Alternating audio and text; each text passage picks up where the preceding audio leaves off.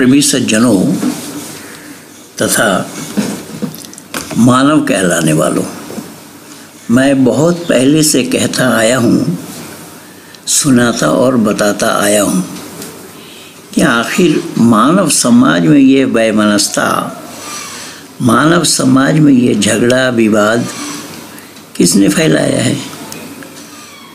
तो इस संदर्भ में हमारे माननीय पहलवान धर्मवीर जी, कुरान की कुछ आयतों को कोड करते हुए उसके अर्थ को बतला रहे हैं, जिससे आप लोग भी चिंतन और विचार करेंगे। रही बात कि उस काल के लिए और इस काल के लिए ये बहाना चलने वाला नहीं है।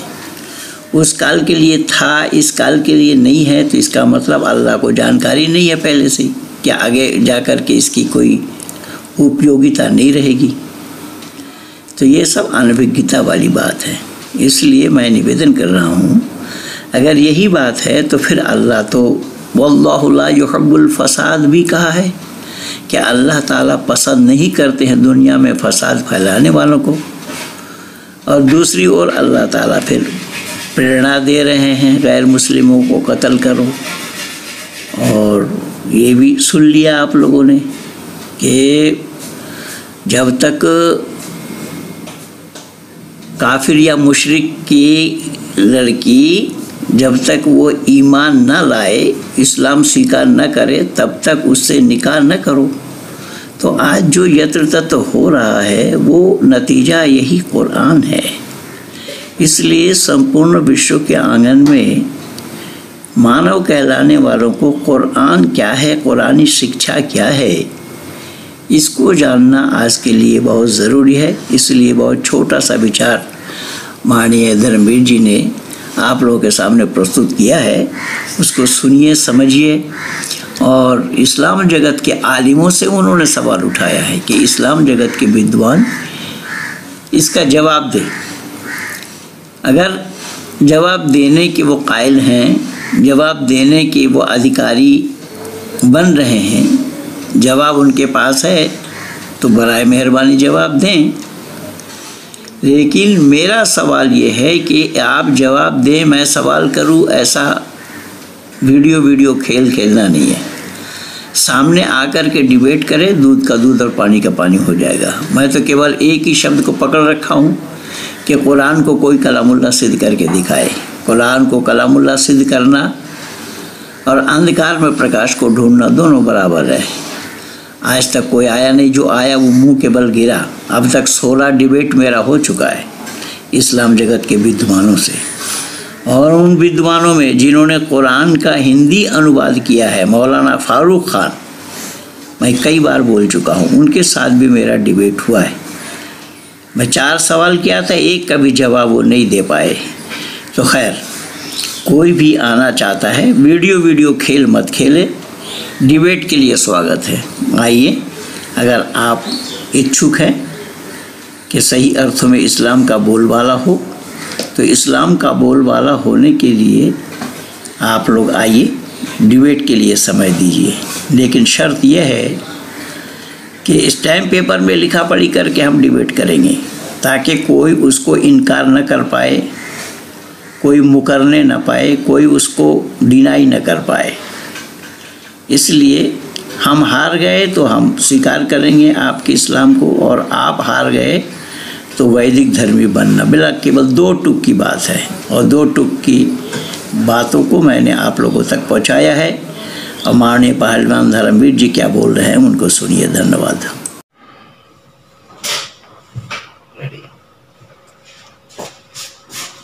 सभी दोस्तों को नमस्ते। और इस्लाम के आलिम को स्पेशल नमस्ते, क्योंकि जब सवाल उनसे पूछा जा रहा तो नमस्ते उनको भी मेरा बनता है। प्यार के साथ में मेरा जवाब दें। उनसे भी, और कुछ सेकुलर है, उनसे भी है। दोस्तों, आपने देखा होगा कि कुछ मुसलमान युवक गैर मुस्लिम युवतियों को प्यार में फंसाते हैं और उसके बाद फिर नाम बदल के, झूठे नाम रख के कुछ भी करके, उनको कहा जाता है कि पैसा भी मिलता है इस बात के लिए। वो कहा जाता है। कुछ वीडियो आई, उनसे पता चलता है। लेकिन वो, मान लिया कोई गैर मुस्लिम है, शादी करके आराम से क्यों नहीं रहते? उसका कारण है। सूरा बकर आयत नंबर 221 में साफ़ साफ़ अल्लाह ताला ने कहा है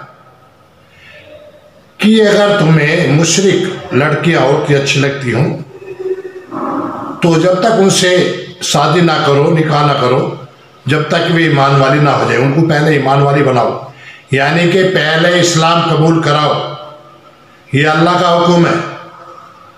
और उसके बाद उनसे शादी करो।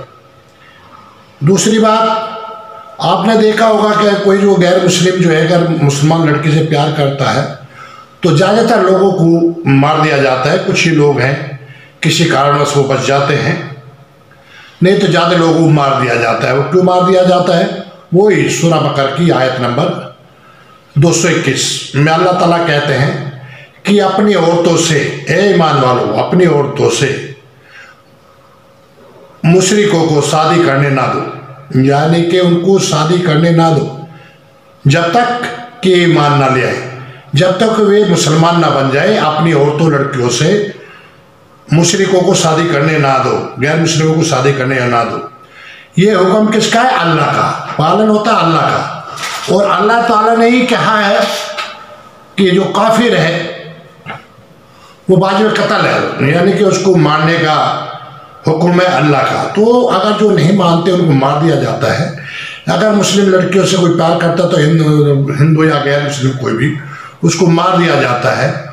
और जो लड़की जो है, निकाह नहीं करती, प्यार में फंस के शादी कर लेती है, लेकिन मुसलमान नहीं बनती, उनको मार दिया जाता है। उसका एक यही कारण है कि ये आयत है और अल्लाह का हुक्म है। तो अल्लाह के हुक्म का पालन किया जाता है, उनको मार दिया जाता है। ठीक है? दूसरी बात आती है, ये तो मैंने बता दिया, सूरा बकर से कि किस तरह से निकिता बिटिया की हत्या हुई है, किस हिसाब से राहुल राजपूत की हत्या हुई है, ये हत्या का कारण है। दूसरी बात मैं आपको बता रहा हूँ, सुनेंगे।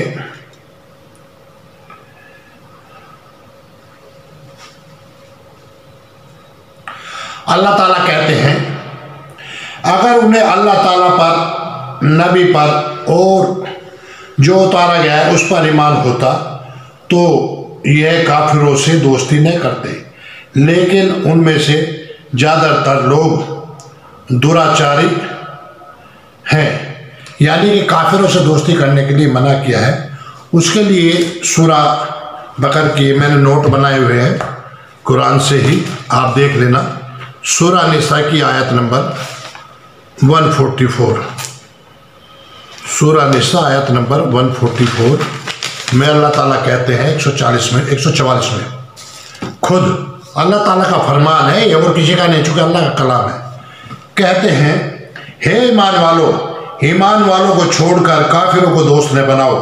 क्या तुम यह चाहते हो कि अपने ऊपर अल्लाह ताला की खुली हुज्जत कायम कर लो? यानी कि अल्लाह ताला नाराज़ हो जाएँगे?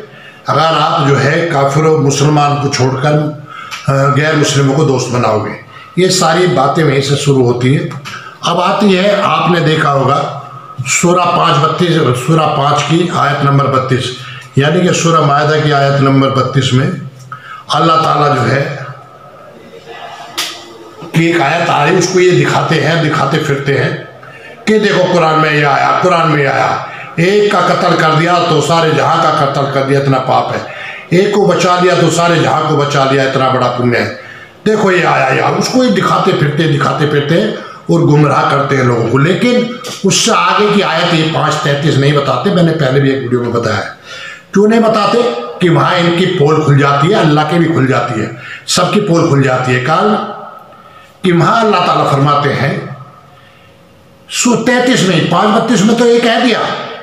और पाँच तैतीस, एक आदमी को कत्ल कर दिया तो पूरे जहान का कत्ल कर दिया। और पाँच तैतीस में क्या कह रहे अल्लाह ताला? कि जो रसूल से और अल्लाह से, जो अल्लाह से, अल्लाह कह रहा खुद। अल्लाह का कलाम बताते कलामुल्लाह बताते आप खुद जान ले कलामुल्लाह है क्या क्या कह रहे हैं। यही भाषा है अल्लाह की उसमें। जो रसूल से और अल्लाह से लड़ाई करे, उसका कत्ल करो, उसको फांसी पर लटकाओ। उसके बाएँ हाथ काटो, दाएँ हाथ पैर काटो, फिर दाएँ पैर काटो, बाएँ हाथ काटो, यानी कि उसको बहुत बुरी मौत दो। और आखिर में तो अल्लाह ताला जो उसको जहन्नम में डालने वाला है ही, पूरी ज़िंदगी जहन्नम में रहेगा। अब सवाल मेरा मुस्लिम आलिमों से है, भाई मुस्लिम आलिमों, पाँच बत्तीस में तो अल्लाह ये कह रहा है, एक मिनट में अल्लाह बदल जाता है। और पाँच तैतीस में क्या हो गया कि कह रहा है रसूल से और अल्लाह से लड़ाई जो करे अबे अगर अल्लाह दुनिया को बनाने वाला है तो उससे दुनिया का कोई मनुष्य की हिम्मत है लड़ाई करने की? वो साथ में रसूल को भी कह रहा है, क्या है चक्कर ये? नबी साहब का अल्लाह का। समझ में नहीं आ रहा। कहीं कुछ तो कहीं कुछ एक नहीं। पहले भी मैंने बताया सुराम फाल की आयत नंबर 65 और 66 देख लो। तो यहाँ सुरा बत्तीस, पाँच और पाँच तैतीस देख लो।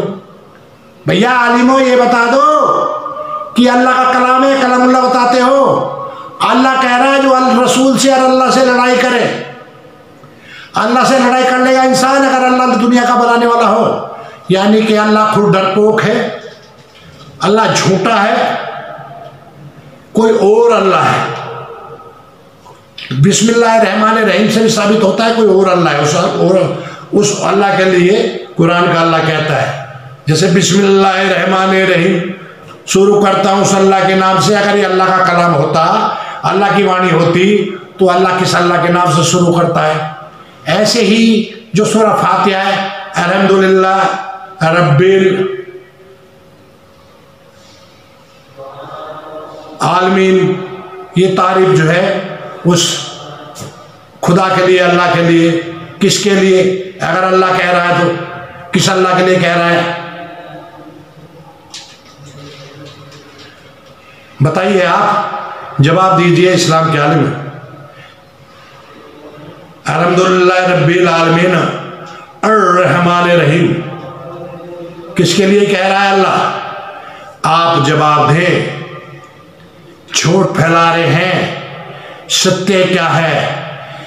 हमारा उद्देश्य, आप लोगों से विनती, प्रार्थना आलिमों से यह है कि मन में एक जिज्ञासा उठी कि ये पूछा जाए कि आलिम जवाब दें कि अल्लाह से कोई मनुष्य लड़ाई कर सकता है? अगर अल्लाह दुनिया का बनाने वाला है तो।